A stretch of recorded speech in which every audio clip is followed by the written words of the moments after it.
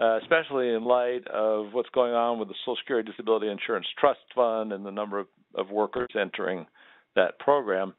Uh, so, for those of you not at all familiar with workers' compensation, uh, this is an insurance system that's for job related illnesses and injuries that's paid by employers.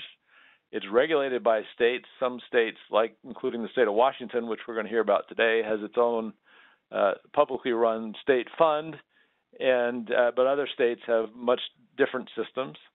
And um, in two, 2012, which is the last year we have a good estimate, uh, the total benefits paid out in uh,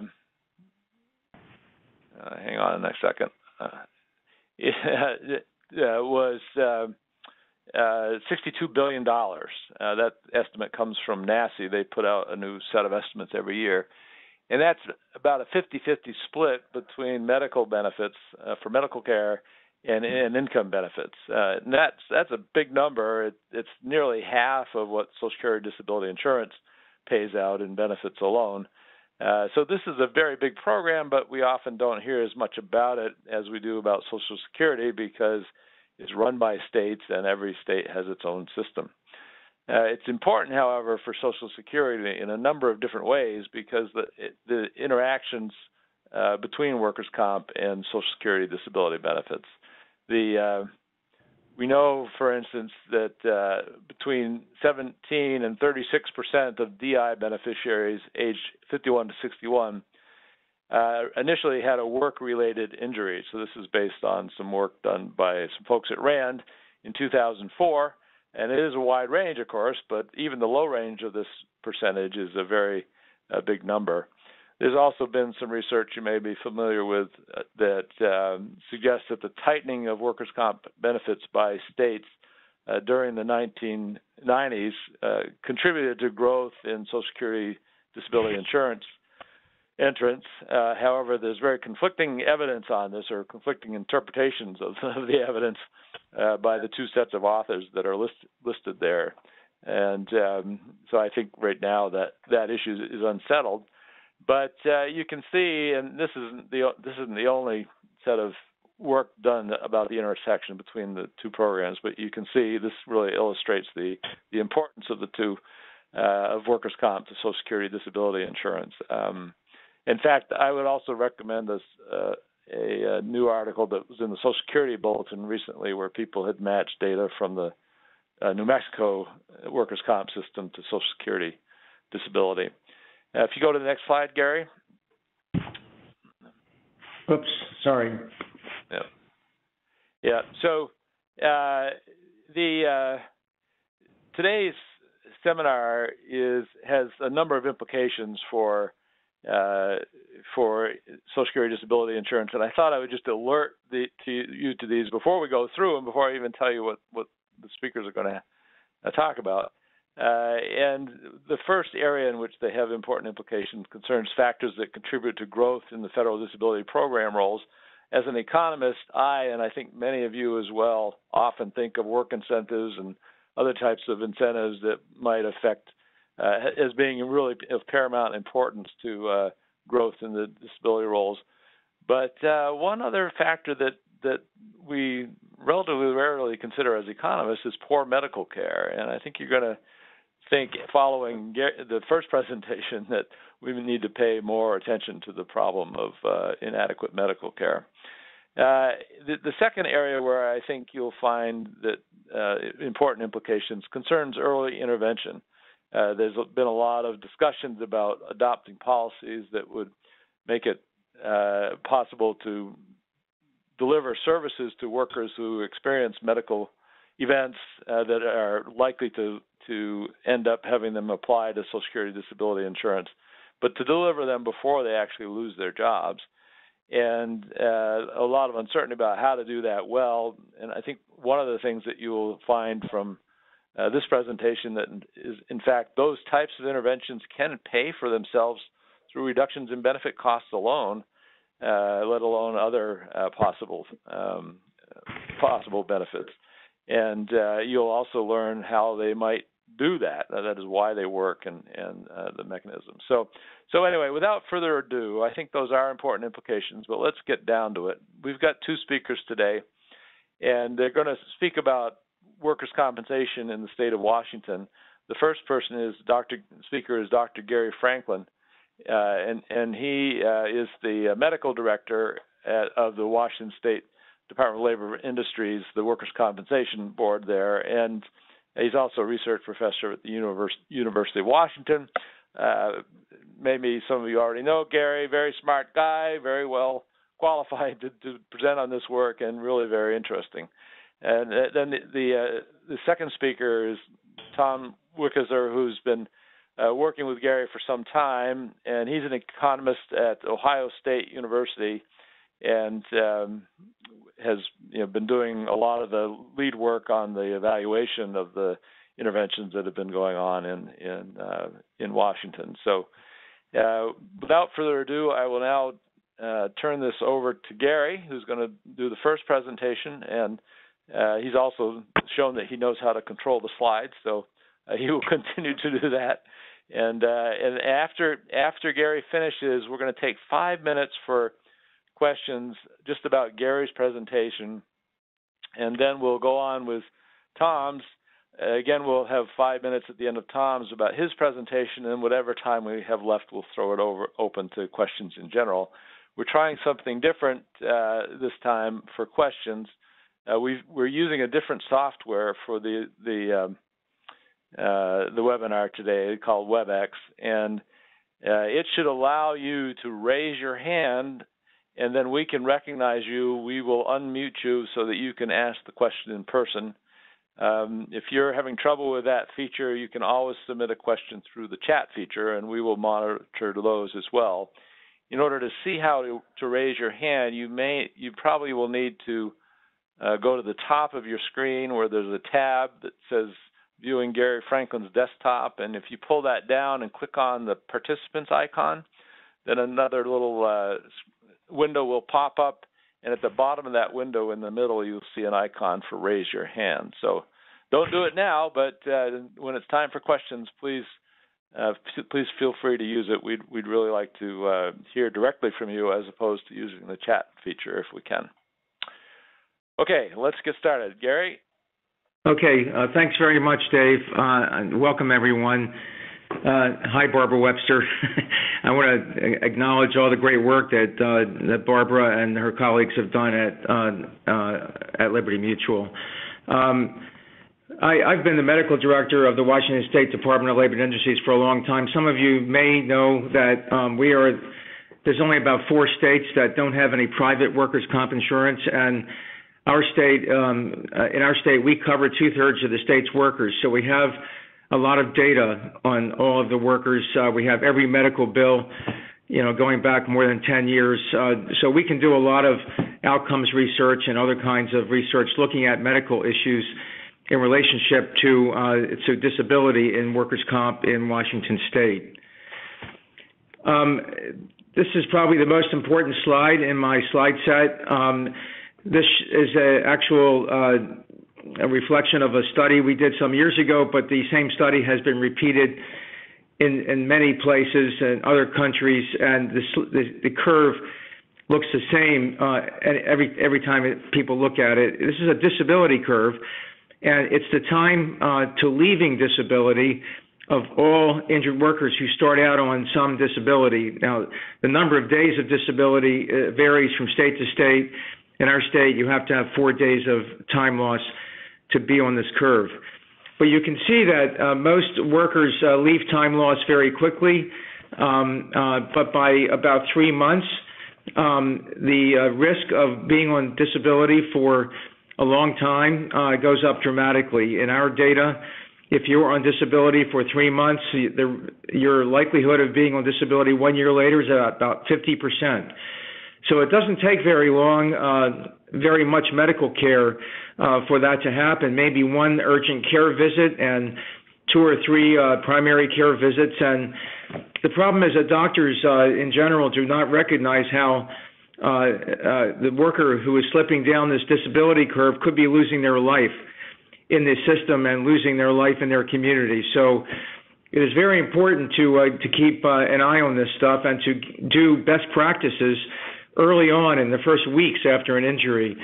Um, five um, percent of cases, five to ten percent of cases take uh, 70, 80 to eighty percent of all of the expenditures in workers' compensation. So basically, if you're out here on the flat side of the curve, uh, you're one of the five out of a hundred workers uh, who is uh, destined to um, to go on to longer term disability. So preventing that disability becomes uh, the highest calling uh, in workers' compensation. I even, when I lecture to our uh, claims managers and to self-insured TPAs, et cetera, I tell them that they're actually kind of like public health officials. They actually can, uh, by the way they uh, uh, affect benefits, can pay for things at work to prevent this long-term disability. The uh, the framework of this is that uh, you know if you prevent an injury from happening in the first place, this is what uh, the OSHA does and state state OSHA plans. That would be primary prevention, preventing the workplace injury in the first place. But if you're preventing the disability, uh, which occurs at three months, then you're preventing uh, that secondary prevention. And then uh, if you look back at the curve, if you're beyond three months, you can probably still do some intervention here in the uh, time frame from three months to one year and perhaps still get some decreased uh, further harm. One other thing I want to point out that uh, is not highly recognized is that the definition of chronic pain is about three months of pain. So if you're on disability for three months in workers' compensation, you are in chronic pain. And so the development of chronic pain is essentially the same thing as the development of disability in workers' compensation if you take out the catastrophically, the small number of catastrophically injured workers. So preventing the transition from acute and subacute to chronic pain is essentially equivalent to preventing disability in workers' comp or secondary prevention. We've done a lot of work, as have others, on what are the uh, most important risk factor categories for predicting whether a worker will slide down that disability curve and become one of the five out of a 100 who goes on to longer term disability. We have focused uh, to a large extent on the uh, preventable um, types of risk factors. What is it, what is it in the medical arena that you can prevent? What is it in the workplace arena? And what is it among the things that uh, we ourselves as workers' comp administrators do that might uh, lead to uh, further disability like delays and, and problems like that. The biggest thing on this list is probably the psychosocial variables and recognizing those psychosocial variables. These are not typically severe mental health issues. These are things like fear avoidance, catastrophizing, uh, and low expectations of return to work. The strategic focus in Washington State, in order to uh, to effectively do disability prevention, has been a, a focus on uh, three uh, strategic areas. Number one, to identify efficient methods for identification of workers at risk for long-term disability, and we had a, a five-year NIH uh, grant to develop those factors related to these buckets of disability predictors. The second thing is to incent the delivery of occupational health best practices, uh, the care, care that might be sufficient to prevent disability in those first months after injury. And Tom Wickizer is going to speak more about uh, those efforts. And then the third thing is to use best evidence to pay for services that improve outcomes and reduce harms for injured workers. That is, uh, if, if uh, a certain procedure uh, or surgery is, doesn't really work or causes more harm than good, uh, you should try, try to figure out a way to reduce uh, coverage on that or to not pay for it at all. From the work that we uh, conducted on the risk factors for disability, this was again a large prospective study, uh, kind of like a Framingham of workers' compensation type of study. We did look at uh, all of the known and published risk factors, and we were able to come up with what I think is quite an accurate six question questionnaire which, when used uh, in the first weeks after an injury, is highly predictive of, uh, of long-term disability. If the first three questions are positive, um, the, the uh, worker has a 36% likelihood of being disabled one year later. The uh, second set of three questions um, which has to do with uh, uh, fear avoidance and uh, catastrophizing and, and, work expectations, is also important. Of course, it's it's more it's important not just to screen for risk, but to also have a plan for implementation of best practices uh, once a, a, person is known to be at risk or is seen to be at risk. And the kinds of things that we uh, have been doing here uh, is uh, applying graded exercise and reactivation addressing low recovery expectations and fear avoidance through education, um, and to uh, add uh, additional services such as health services coordination services, which Tom Wickizer will speak about. But among the medical treatments, uh, what, what, has contributed the most to the decade long pattern of increased disability duration uh, in uh, workers' compensation? In our view, um, that would be uh, to a large extent, uh, opioids, spinal surgery, and, uh, and, and bad doctors. Um, there are other problems which are not that common, but which uh, in many, many cases lead to further disability. And we don't have a, a, a, an exhaustive list of those here, but that would include things like thoracic outlet syndrome. We also have found uh, that a large proportion of our, our pension cases uh, have had uh, multiple psychiatric diagnoses, including the DSM-4 diagnosis of chronic pain syndrome. Some of you may know that that um, that uh, specific diagnosis, you know, diagnosing pain as a disease, has more or less gone away in the new DSM-5. So that's going to be an important issue as we move forward. This is what I call the uh, the Franklin curve, um, and it it's sort of a, a, a, schematic to show on the far left, you know, zone one doctors, which are extremely high quality doctors. Um, zone two doctors would be very good doctors who can always use a little more education. Zone three doctors would be doctors who are doing things that are sort of gray care, not really great care, not, not very good. Um, but zone four doctors, a very small percent, less than 5% probably, of doctors who are doing care that no one would recognize as being uh, decent care and who are harming workers. So it's very important to try, try to figure out a way to stop that uh, extreme, extremely harmful care. So what we have done is we have established uh, in Washington uh, network standards uh, and le- new legislation a few years ago established a statewide network, which is not a managed care network, but it is a network that uh, to get into the network you have to pass minimum standards. We also have new statutory language which defines risk of harm, and we're working on that now, particularly in regard to opioids and uh, surgery. The status of our uh, statewide network is uh, kind of mind boggling. We have allowed in over 20,000 providers, but a very small number of providers, uh, under 300, have either not applied or were denied um, uh, uh, entry to our, our, workers' comp system. These providers uh, are associated with an outsized amount of disability and cost. Um, these uh, 73 providers who were finally denied uh, through appeals, et cetera, uh, were associated with $34 million a year in expense. I want to say a word about opioids and disability. Uh, this is uh, one of the major things I wanted to talk about, and this is above and beyond the fact that there are um, uh, deaths all over the country. Um, as you probably know, prescribed opioids have accounted for over 100,000 deaths from unintentional um, uh, death, uh, unintentional overdose. Um, these are mostly from prescription opioids, so these are not typically street users. These are people getting prescriptions from doctors. But we have spent quite a bit of time looking at opioids in the workers' compensation system, and actually, Barbara Webster was the first person to publish a paper on this.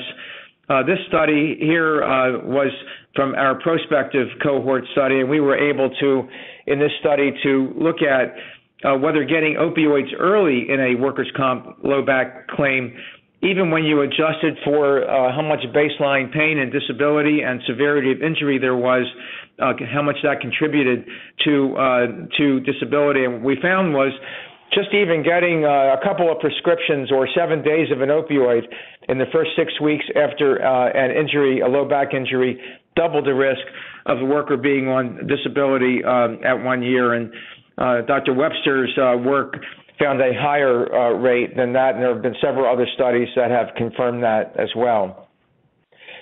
Also, a lot of workers, uh, as you can see in this first bullet point, uh, get uh, opioids often at the very first visit, which is uh, probably inappropriate uh, to receive uh, opioids as the first treatment for nonspecific low back pain. We have established new guidelines in workers' compensation in Washington State. I'm not going to go into any gory detail here, but what's important about this new guideline is that uh, it is very clear that uh, if you're getting if you're getting uh, an opioid, if you're giving a, a, worker an opioid in the first in the beginning of a claim, and the worker uh, after a, a, few days or a few weeks has not improved uh, meaningfully, so having a definition of clinic, clinically meaningful improvement in function, and that would be at least 30% improvement in pain and in function if those patients are not that much better after the initial use of opioids, we will not allow uh, opioids to continue in those patients. We also have included a case definition in this new guideline for tapering um, uh, workers off of opioids because if workers are on opioids for three months, they are likely highly physically dependent and may, in fact, never be able to uh, come off of opioids from only three months of treatment because we have uh, been working on preventing the unnecessary chronic use of opioids in this uh, cohort in our workers' comp patients in Washington, we have dramatically reduced the proportion of workers who are still getting opioids uh, between 6 and 12 weeks after their injury. Uh, in 2008, that number uh, the number of still getting opioids three months after the injury was around 7%. After some uh, state action on opioid guidance uh, in 2007, it went down to about 5%. And now, with our new workers' comp opioid guideline uh, addressing inappropriate acute and subacute use of opioids, that number has gone down to uh, to 1% or less.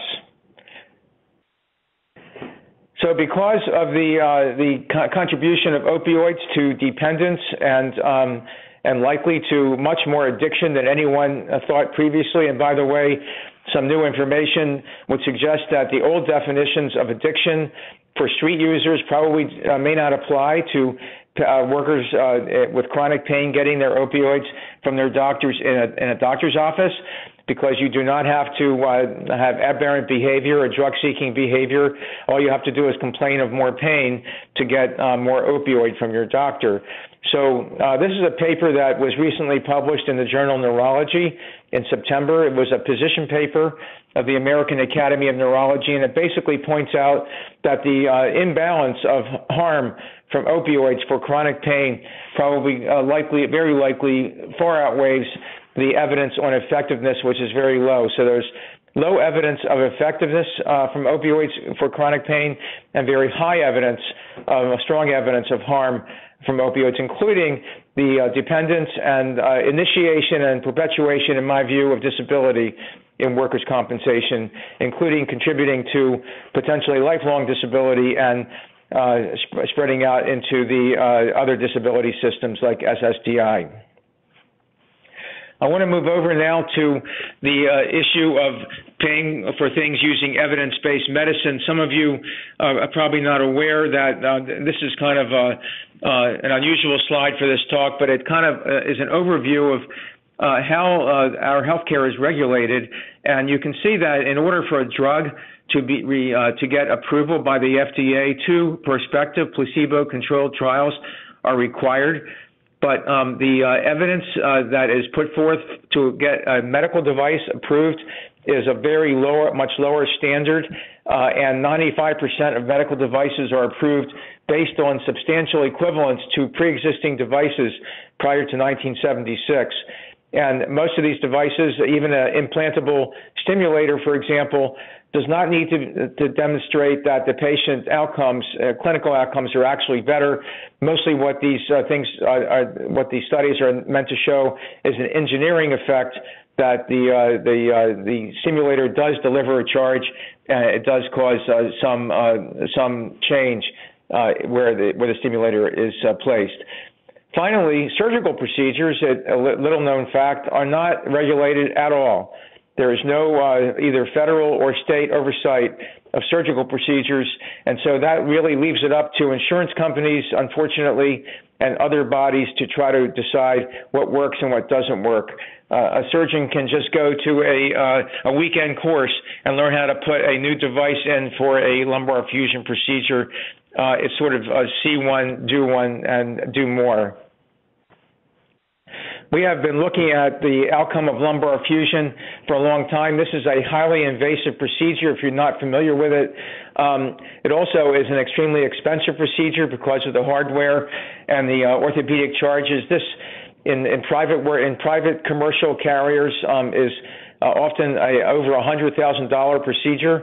Uh, lumbar fusion costs in our state employees benefits board is the number one inpatient cost for the entire state uh, employees program. But this uh, slide represents outcomes of lumbar fusion in uh, uh, the Washington workers' compensation system. We have looked at this a number of times now, and the main number on this slide to pay attention to is that only one third of injured workers who receive a lumbar fusion are uh, off of disability two years after the lumbar fusion. So that means two thirds of workers are still totally disabled two years after a fusion. And in our data, we have now looked uh, backwards 10 years.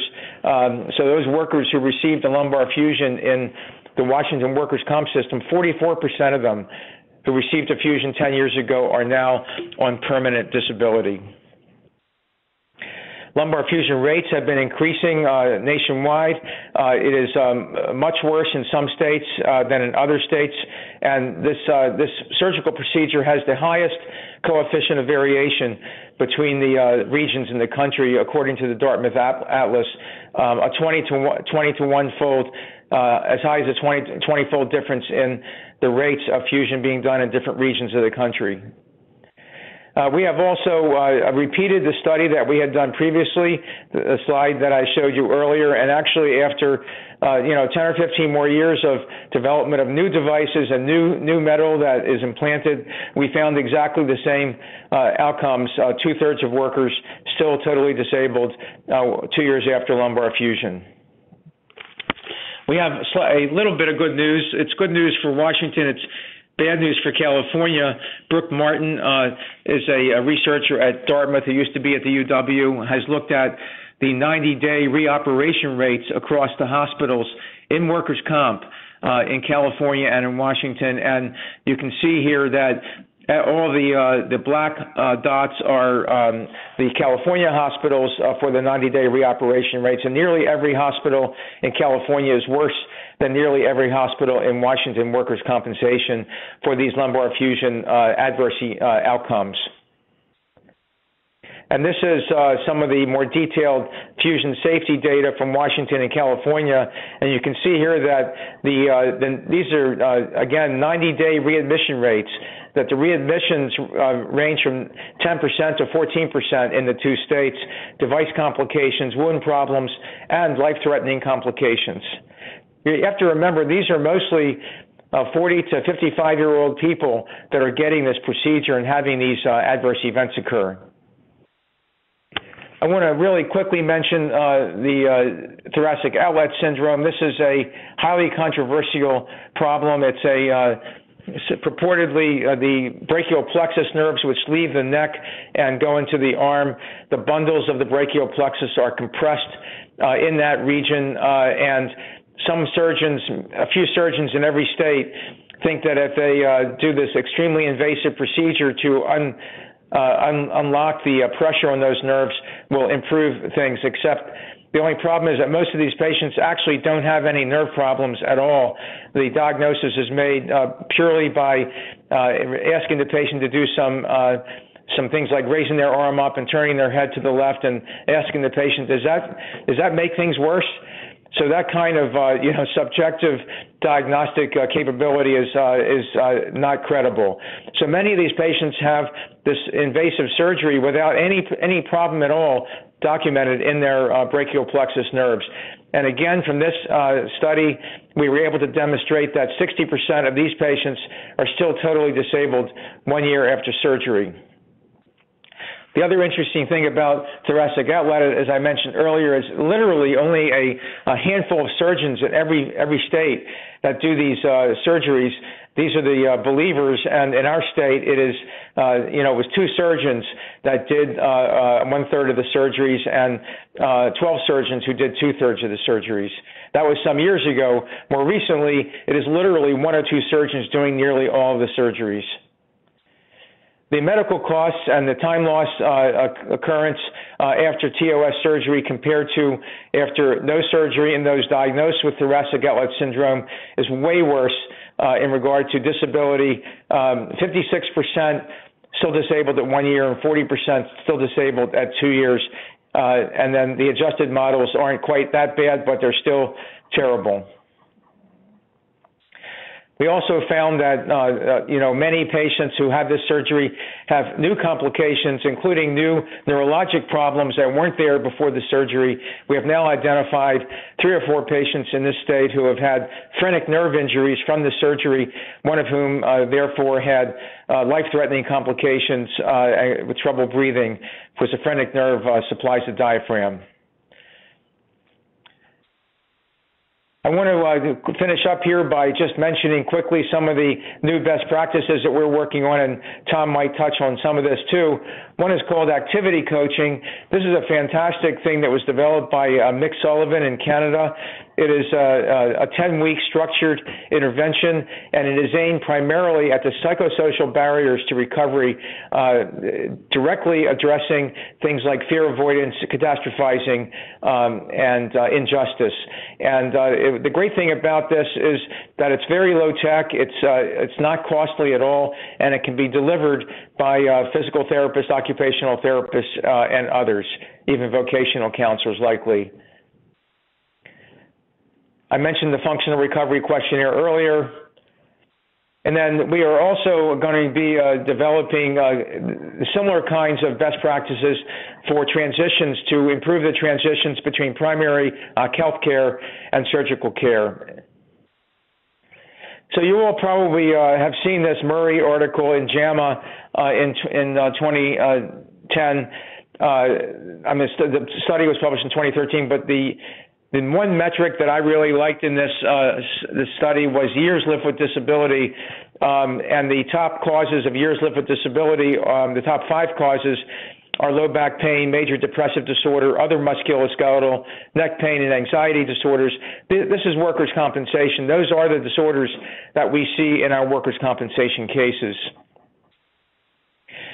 So we recently, to finish up here, uh, tried to uh, get our actuaries to give us some data that would def- try to define uh, probable cases uh, besides those getting SSDI directly in the workers' comp system in Washington State. And we recently published a paper in the American Journal of Industrial Medicine making the case that it is bad care in workers' comp that is leading to a lot of the disability in the system and bleeding over into the SSDI system. So the case definition that we uh, came up with uh, uh, and were able to test a bit, um, the five uh, for the four criteria would be if the worker is getting a Social Security offset, if they've received cash benefits of time loss benefits for at least five years, if they've received a permanent partial disability award that is high, or if they are already receiving total permanent disability but not yet receiving Social Security offset. And using that information in the American Journal of, of Industrial Medicine study, we were able to look at the percent of claims who actually had the offset in 1997 and 2007. It was between 2.1% and 2.9%. But then if you use those four criteria that we just went over, the percent of compensable claims who are highly likely to end up on permanent disability or SSDI was much higher at 5.4% in 1997 and 9.2% in 2007. So, in conclusion, uh, we believe that poor quality or harmful care in workers' comp contributes to the initiation and perpetuation of long term disability. The disabled patients generated in workers' comp are increasingly entering the SSDI system. Identification and early treatment can prevent long term disability. It is also highly likely that these same potentially harmful health services are contributing to disability in non workers' comp systems.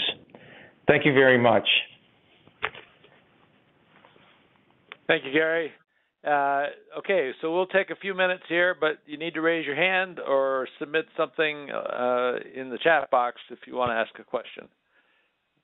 I don't see any hands raised yet. Steve, if you see one, uh, just go ahead and recognize it. Okay, still no hands raised. Can I ask a question? I have one. Sure, sure, we can take one from the room. Thanks. You talked about a disability offset, um, and I'm wondering if you could let us know what that means in your, in your language.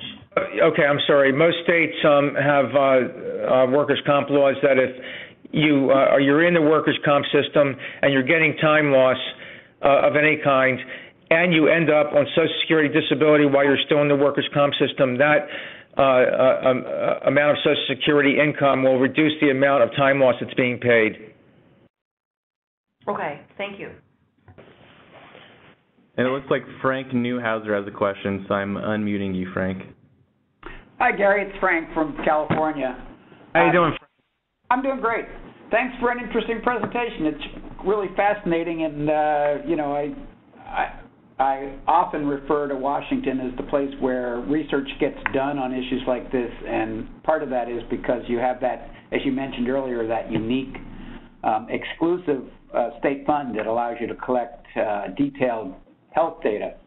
Um, so, but one of the things that makes Washington State um, unique uh, is that uh, until recently they excluded workers from making um, from from uh, allowing workers to do lump sum settlements and to close out cases, and so medical treatment um, often continues um, for for long periods of time, and you know there are some studies out that suggest that worker outcomes are better when lump sum settlements are allowed. And I wonder if Washington State's thought about allowing workers to settle both the, the pension and the medical side of their claims um, and let them proceed with decisions in the medical arena that um, where they have some contribution to the cost and make maybe better decisions. Yeah, I, I you, you probably know a lot more about that, Frank, because I think a lot more of that happens, so, like in California. Um, we did have a bill that passed a few years ago that would allow that kind of a settlement and workers that were at least 55 years old, but um, for whatever reason, it has hardly been used at all. Um, it's not, uh, you know, it's it, it has not. I, I don't think it's having much of an impact at all. Thanks. Thank you. Any others, Steve? There's no more hands raised. Okay. Well, I think we should uh, move on, but but um, I, it's fine for people if you want to indicate that you'd like to ask a question. Uh, you, you could do that while Tom is talking, and uh, that way we'll have you queued up at the end, uh, and we can proceed more quickly. So, anyway, uh, let's turn this over to, to Tom and uh, proceed.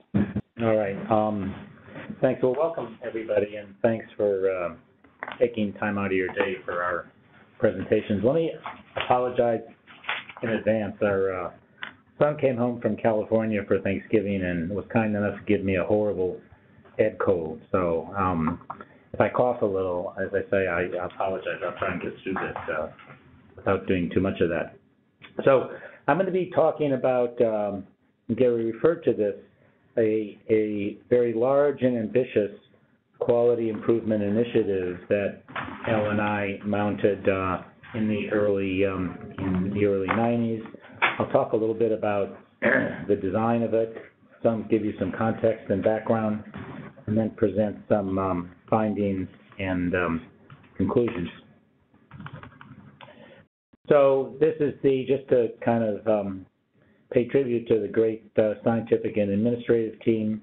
We had um, Gary and I, in different ways, kind of were um, the leads, but by no means the only people. Um, Bob Mootz at LNI, Roy Plaeger-Brockway, and, and others at LNI made uh, important contributions, as did Deb Fulton-Kehoe, Terry Smith-Weller, and, and Jerry Gluck. So it was really very much of a, of a team effort. Um, so I'm going to talk a little bit about avoidable disability and workers' comp, and then give you some um, information on the design and evaluation methods, present the findings, and then uh, some implications for improving return to work. But I, I guess, and Gary really mentioned this, the take-home point, I think, of both our presentations is that secondary prevention initiated early in the claim can improve outcomes and reduce work disability. And secondly, unlike, you know, on the general medical care side with, for example, reducing risk of cardiovascular disease way down the line, um, workers' comp secondary prevention really does have um, almost immediate payoff in the sense that people return to work and then go off uh, go off di- disability. So again, just to highlight, uh, I think what Gary mentioned and Dave mentioned earlier, the Washington State's organized a state fund system. Uh, it's administered by uh, the Department of Labor and Industries. All employees who don't self employers who don't self-insure must by law purchase workers' comp insurance through the state fund, um, which insures roughly two-thirds of the state uh, non-labor, uh, non-federal workforce. So I'd like to say in presentations uh, this type I give that there's disability prevention is kind of a bad news, good news story. And again, I think Gary set the stage here earlier that workers who remain on disability for longer than a few months have greatly reduced chance of returning to work. That's the bad news, but the good news is really that effective occupational health care can reduce the likelihood of long-term disability. And this is the same curve that Gary showed. What we tried to do really in the intervention I'm going to be talking about is drive that blue line more toward the origin so that at the end of 12 months, there would be fewer injured workers um, on long-term disability. And uh, I think at least to a very meaningful degree, we, um, we succeeded in, in doing that. So the precursor to the quality improvement initiative I'm going to talk about was a managed care pilot um, study uh, that L&I sponsored in the early 90s. And the idea there was really to answer the question, if you delivered care, if you delivered workers' comp health care through um, physician networks, where the on the medical side, um, that was paid for by capitated risk contracts. Um, could you improve outcomes and improve satisfaction and perhaps also improve costs? But L&I did not um, set out on this managed care pilot simply as a with a primary objective of containing costs.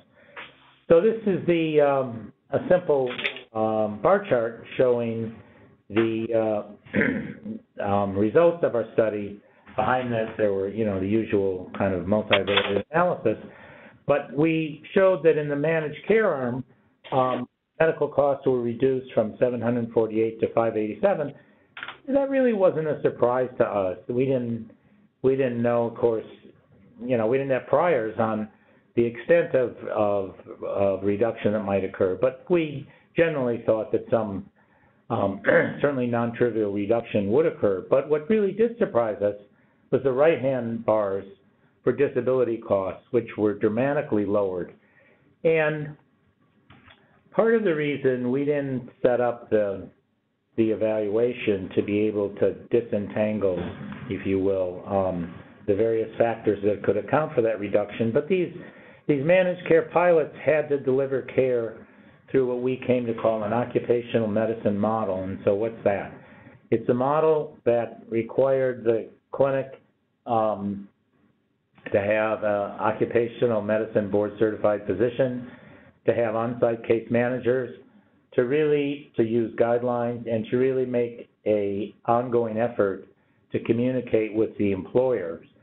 And we have other data on on the extent to which uh, some of that occurred, especially communication with employers. Um, and and I think this is the um, the result of that, that disability costs per claim were reduced from 625 to $342.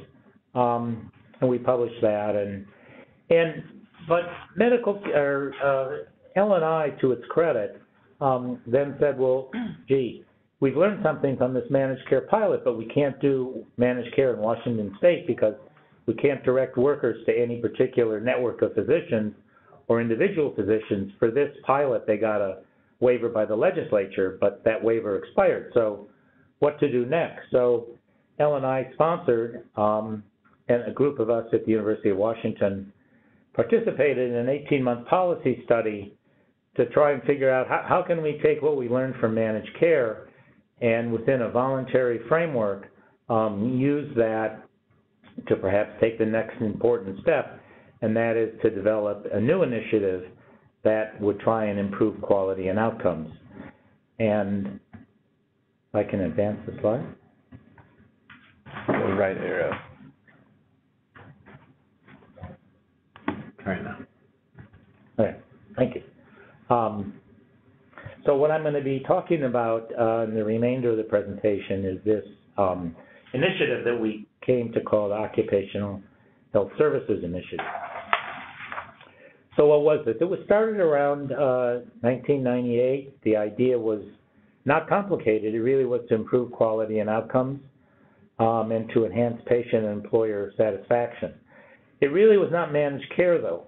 Workers were not directed to uh, to these pilots at all. They chose to go there on strictly voluntary basis. There were no restrictions placed on provider choice at all. So what was the system redesign? We um, brought um, people out to Seattle, um, national experts and regional experts, as well as local folks around three areas, back pain, uh, carpal tunnel syndrome, and extremity fractures, and had a, a full day um, kind of focus group activity that generated, uh, ultimately generated quality indicators that as part of this initiative, uh, L&I then incented by paying physicians who perform these, what we call best practices, uh, added payment each time they did so. So different model than other pay-for-performance um, um, schemes, which really to date haven't shown uh, much much effect.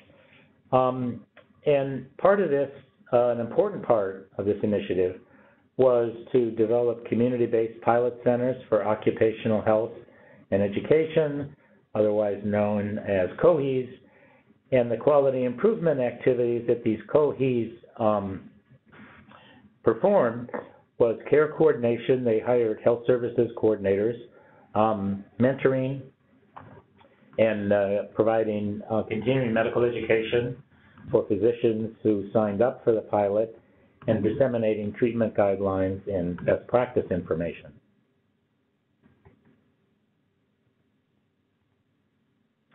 So this is a schematic of uh, of these COHEs. Um, the the uh, initiative was sponsored entirely by the Department of Labor and Industries. There was no federal money. Um, the Department of Labor and Industries also provided a large uh, um, a large um, contract to the University of Washington evaluation team to conduct an evaluation. The overall COHE and each of the two COHEs I'm going to talk about in just a second had business and labor advisory groups that turned out to be very important for reasons that I'll talk a little bit about at the end of the presentation. And then the idea was that the COHEs would um, enroll on a strictly voluntary basis community physicians. And so there was no really bricks and mortar built here. Um, community physicians that participated did so in their own emergency departments in their own clinics. So there were two sites um, in Washington State. If you're going to do something like this, you have to have a site east of the mountains and west of the mountains. The culture is very different. Um, so one was in Renton, Washington, which is in the greater Seattle metropolitan area, just near one of the Boeing plants, and the other was in eastern Washington in, in uh, Spokane. So this slide shows uh, what the quality improvement components were linked to the quality improvement objectives, and we uh, organized them um, uh, as follows. We had what we called structural change components that included physical continuing medical education. Health services coordinators were really the core of the structural component. Um, and they, though, they were intended to improve care coordination, to improve communication with employers, and to reduce provider administrative burden. And then there was also money um, that was available to enhance uh, information technology to improve patient tracking. And the financial incentive component was what I mentioned before, was really enhanced provider payment to promote um, best practices around those four items listed on the right-hand lower cell there. Submission of the accident report, use of activity prescription form, communication with employer, and assessing return to work impediments. So just a few words about the evaluation. Um, these are the numbers in both sites for the intervention group and the comparison group. The comparison group was um, formed by uh, all, all uh, injured workers that were treated by non-COHE physicians in the immediate um, catchment area. So we assessed four outcomes shown on this slide, off work and on disability at one year, post-injury, total disability days, and disability and medical costs. And we were limited to claims data, so we had a rather short list of um, covariate factors that we could include in the analysis, and these were age, gender, type of injury, provider specialty, industry, and provider claim volume. We used kind of standard uh, regression models um, that included logistic regression for the binary uh, outcome of on-off disability at a year, and then used generalized linear models um, to assess the other three continuous outcome measures. And then we did two important sub-analyses. Um, one was we um, separated back sprain cases and analyzed them using the same model, but many of these, I don't have the descriptive data that I'm going to show today, but many of these cases were relatively straightforward laceration, so the injured worker might go to the local urgent care, get 10 stitches, and, you know, um, either go back to work or spend, you know, part of the day at home and then return the next day. Well, obviously, improving care coordination is not going to do very much for that kind of patient. Well, on the other hand, back sprain cases are usually, if not always, almost more involved and oftentimes lead to prolonged disability. So if you're going to see an effect, you'd more likely see an effect among the back sprain cases. And then we were interested to see if we could um, identify any what you might call dose-response relationship among the COHE physicians to take a look at whether those that adopted best practices more often as opposed to less often had any different um, outcomes. so two slides here on the findings. This slide shows um, for both the overall sample and in parentheses um, back sprain cases, and you can see the for the four outcomes, the percent on disability, disability days, disability costs, and medical costs. And the thing I would note is that in the overall sample, there were fairly large differences, as you can see in the in the baseline samples. So, for example, the percent on disability in the baseline sample was two days in the uh, sorry, two percent on the COHE and 2.7% for the comparison group. And similarly, disability days, the difference was about 14 and a half versus 19 and a half. Whereas if you just look at the numbers in parentheses, you can see in the baseline samples between the COHE group and the comparison group, they were actually almost identical. This is a slide showing our overall results of the statistical models, um, substantial reductions in um, the, the uh, risk of being uh, on uh, disability at one year and a larger reduction in risk for back sprain cases and what we call the high adopter versus the lower adopter cases. And you can also see the magnitude of the estimates for disability days and disability costs. The medical costs although negative, did not, um, were not statistically significant. But part of that reason is that the incentive payments, and in hindsight, we probably should have done it a different way, but the incentive payments are, to the physicians are included in these medical costs. If you back those out of them, which you really should for this kind of analysis, um, these uh, medical cost reductions would be increased by about forty to fifty dollars anyway, and probably would have therefore been um, significant also.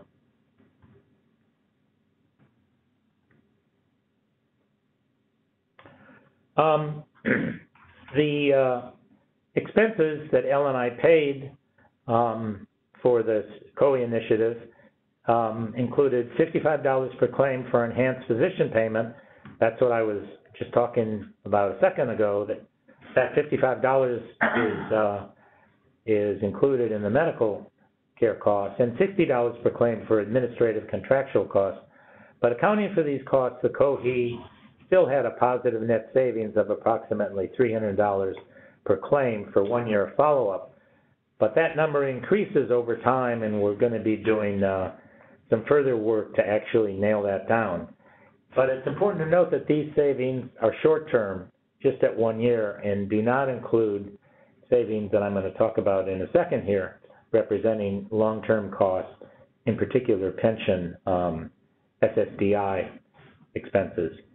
So we've recently obtained data on eight years of follow-up for the original COHE cohort, and we've also uh, included in that new data set um, secondary outcomes that include pensions from labor and industries, SSDI eligibility, um, attorney involvement in the claim, appeals and reopen claims, and some very preliminary work I've done um, has shown favorable reductions in the rates for these outcome measures ranging from about 25 to 50 percent.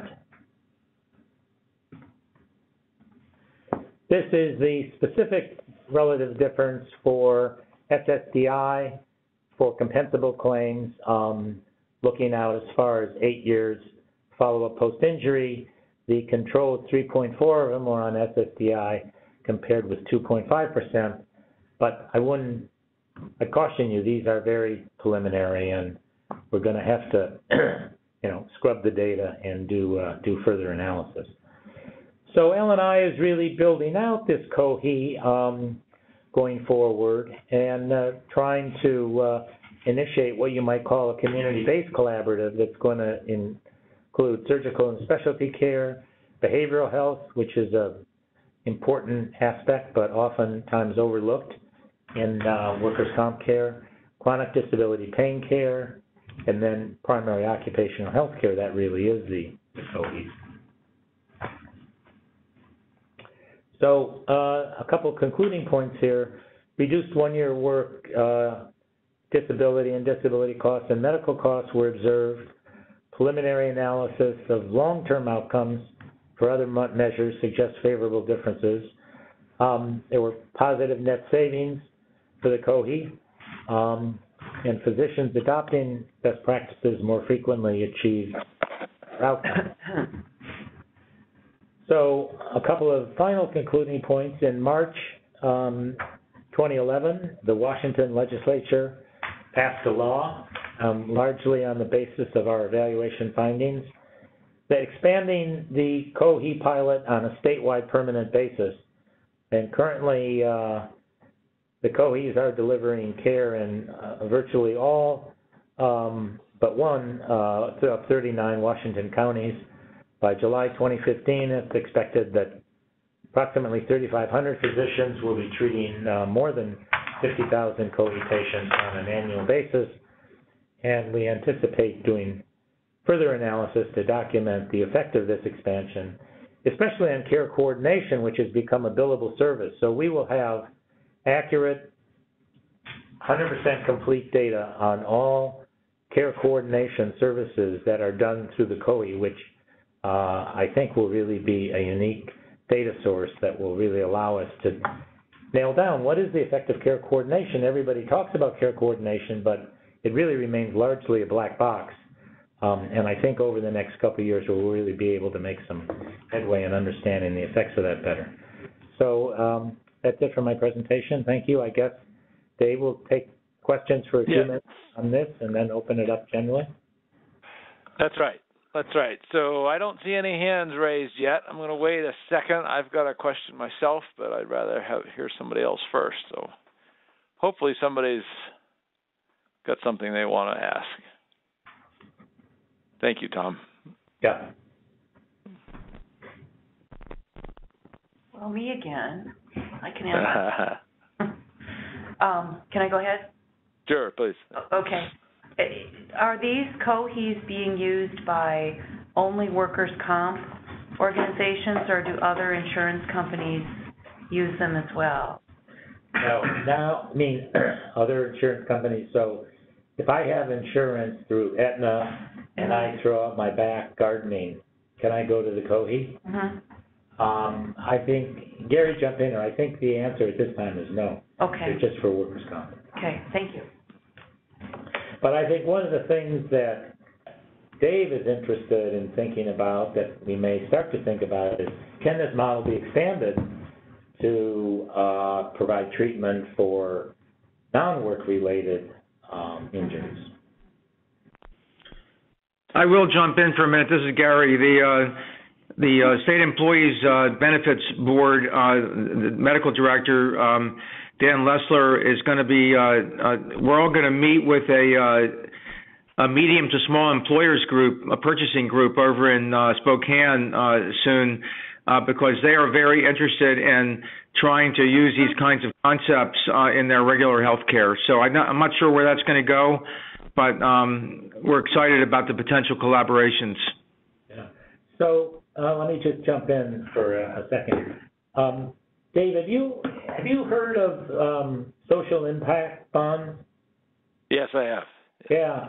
So, uh, there, in the November issue of Health Affairs, um, there's an article written by, uh, someone on the, uh, uh, Federal Reserve Bank in San Francisco on social impact bonds. And as I was reading it on the, on the metro coming down here to Mathematica, I thought, gee, this, I, I wonder if this might have some, potential, uh, applicability to some of the things we've been talking about.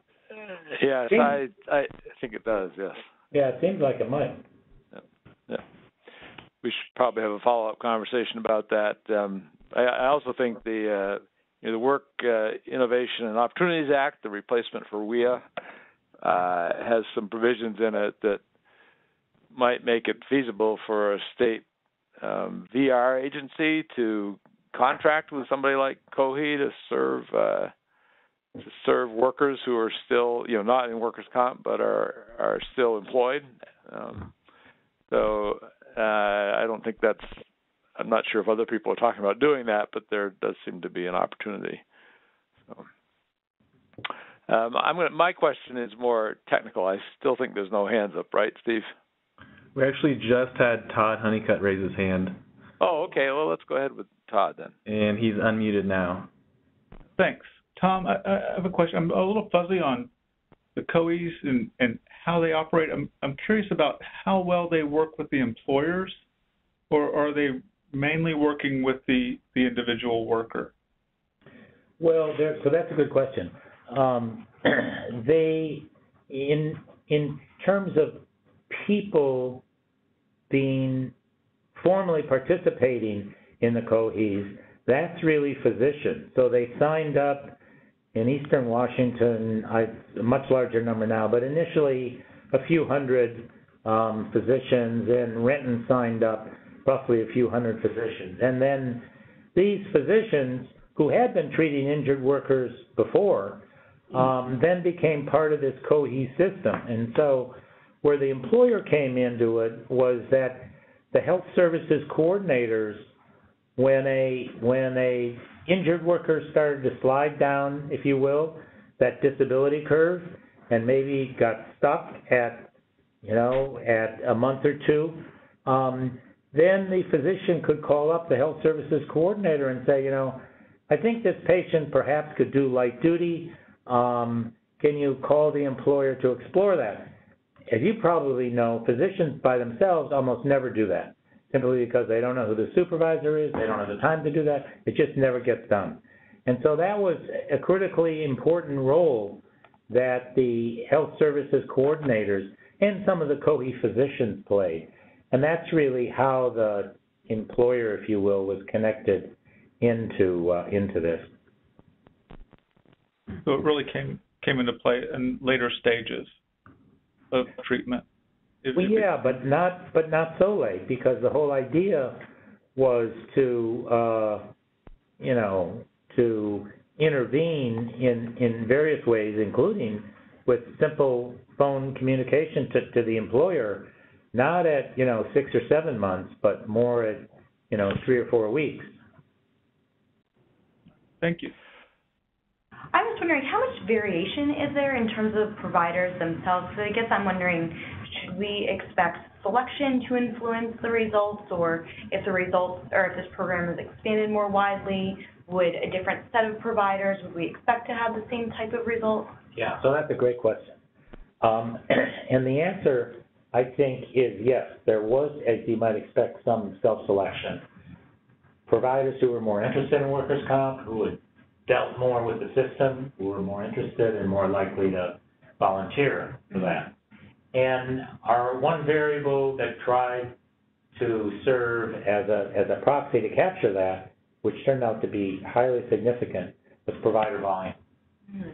So the low volume physicians, um, as you might expect, had different outcomes, would have different outcomes independent of the COHE than the high volume providers. Uh-huh.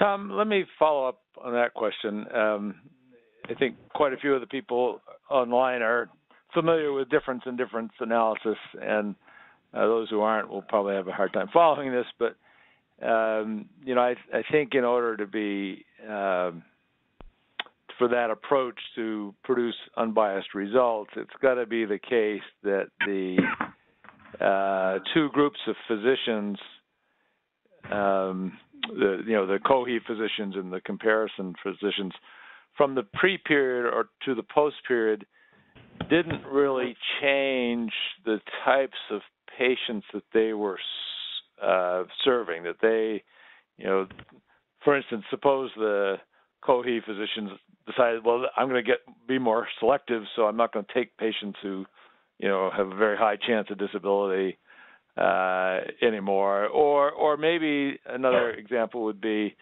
uh, the the workers' comp claimants themselves. Some of them who had long-term issues, uh, they knew they didn't want to be working with a COHE physician, right? So, can you be confident that changes like that didn't happen during, you know, when the COHE was implemented, and that um, they don't affect your results? Well, that's a great question, Dave. So one of the other, I think, assumptions of these DID models is that the rate of change is similar in both groups, and we didn't have enough pre-data to really nail that down. I guess what I, I guess I would answer your question a couple different ways. Um, I think many, and Gary, jump in here in a second. Um, I think many patients who went to these COHE physicians were unaware of of of this whole COHE initiative. I mean, it wasn't like the um, the clinic uh, or a particular practitioner in his or her office located in Renton or Spokane hung out a shingle that said, "I'm I'm a COHE provider." Um, so so I don't know in the practical world of the way workers' comp works if there would have been that ongoing selection process. I guess another um, uh, another couple of things that gave me more confidence in our results um, were the analysis of the back sprain cases. They were almost identical. I mean, you couldn't you couldn't hardly, even if you did a randomized trial, end up with two groups more similar at baseline. And yet, the if you look back at that one table, the uh, the outcomes got worse for the control group and got uh, better for the uh, for the intervention group. The other, I think, thing that at least gives me a little more confidence in terms of attributions, and that is uh, our findings with respect to the high adopter, low adopter um, analysis. So this really, um, we didn't have any control physicians. The control physicians were COHE physicians who just adopted uh, these best practices at uh, lower lower frequency, and that uh, analysis, as as you've seen, also produced um, uh, very uh, you know meaningful meaningful differences. So when I when I add this all up, I, I you know sure am I 100% confident there's no bias from some unmeasured factor? No, but I, I, I think, I think I'm confident enough that, um, these findings are pretty genuine. Okay, fair enough. Um, if people have questions for Gary too, we can take those as well. Uh, Steve, anybody else got a hand up? No, still no hands raised. Okay. Actually, Frank Neuhauser has his hand raised and he's unmuted. Okay, Frank, why don't you go ahead? Uh, this is more specifically for Gary. Um, I, I just wanted to understand something better you talked about earlier, and that was the change in the treatment of chronic pain between the DSM 4 and 5. What is what exactly is changing, and how do you see that affecting workers' comp? Well, this is not a generally recognized uh, thing. It's something that, that we noticed. So DSM-4 was the first time that um, a diagnosis, a psychiatric diagnosis of chronic pain disorder was introduced as a standalone psychiatric disorder. In other words, if you have chronic pain, it's a psychiatric disorder.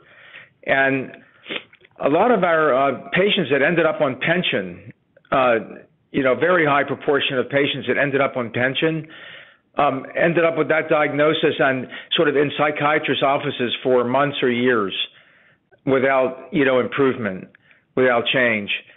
So we were pretty interested uh, when the DSM-5 came out, and and you know we were working on actually new rules that would um, say in, in our industrial insurance medical advisory committee including a psychiatrist that's very active in the area, uh, for any number of reasons, thought that we should press ahead with with uh, actually implementing DSM-5.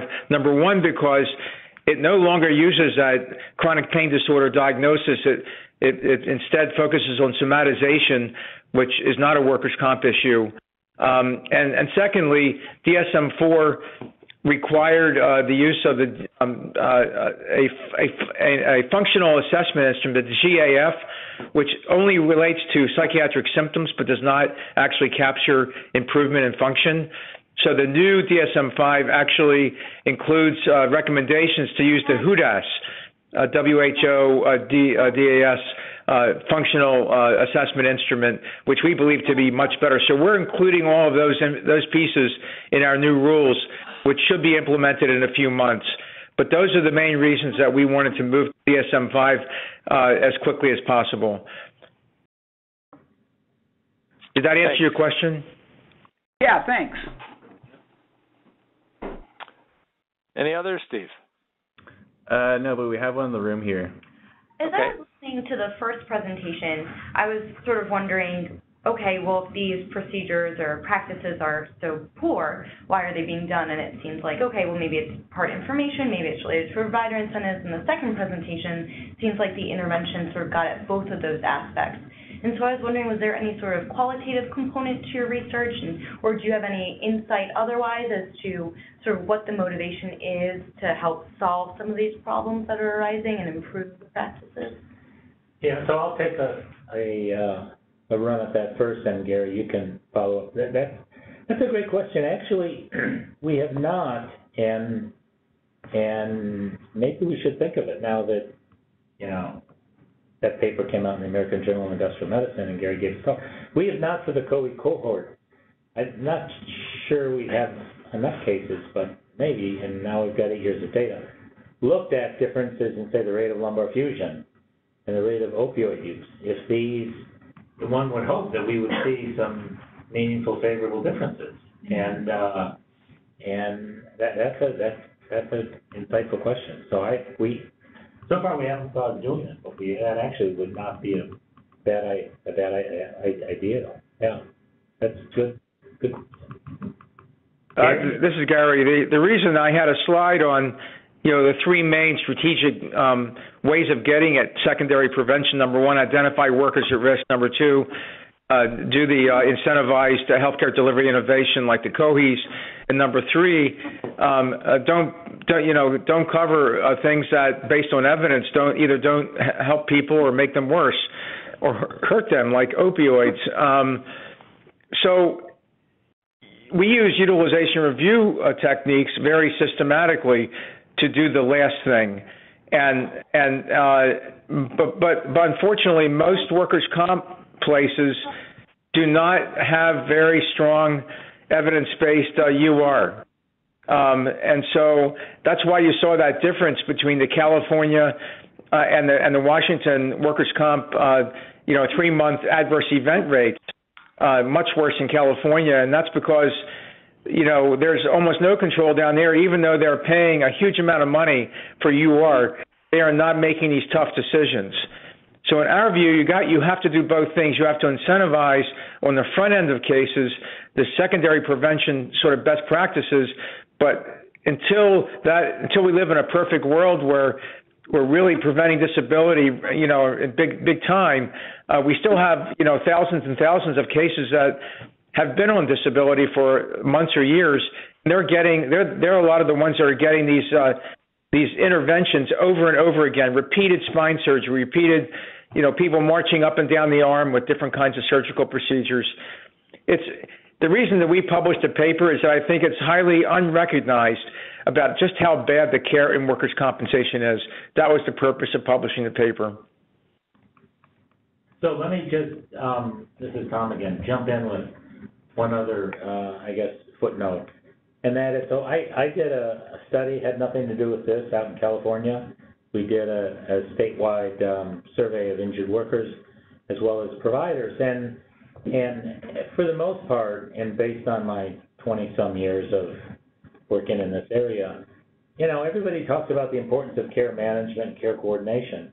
But I think how those activities are done, for the most part, not always, certainly not in the case of L and I, really pretty much of a sham. And in California, they have these managed care organizations that are supposed to do some of this kind of stuff. Um, they're just big, far-flung PPOs. They really don't do much. In Ohio, well, they also use this kind of managed care organizational model, and and people that I talk to can't quite figure out what's done to whom. So I think I think one of the one of the important differences in this COHE model, even though this sounds very, you know, pedestrian, is that it, it does at least get us a little further down the road of having some kind of coherent system and accountability where people know what they should do and on average they do those things um, much of the much, of the time. And I, and I think as far as you know other systems go um, that's usually not the case strange as it may seem Thank you. Interesting. Okay, any others? Uh, there are no hands raised. Okay. Okay, well, we're uh, just a few minutes left anyway, so uh, let me just encourage people again, as I did at the beginning, to uh, send us your comments and both about this session and uh, about the value or lack of value of the sessions overall, and also if you've got recommendations for future speakers we should be getting lined up, uh, please send those along as well. So Gary and Tom, uh, thank you very much. Uh, we'll now give you a, a, virtual round of applause, which is nothing, of course, but uh, we really appreciate you taking the time to do this today, and I think this was very informative. Thanks very Goodbye, much. everybody. thanks Dave Bye.